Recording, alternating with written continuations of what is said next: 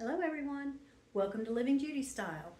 It's a rainy day in Georgia and today is going to be a pantry clean out and organize and just clean it up.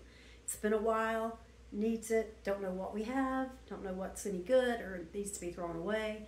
We're going to do all that today. You'll be seeing my husband in it some. He's going to help me a little bit and I also am going to do a small cooking segment um, I do a lot of cooking, keto and low carb, and I have a little one that I thought I might share with you today. All right, if you're ready, let's get this thing done.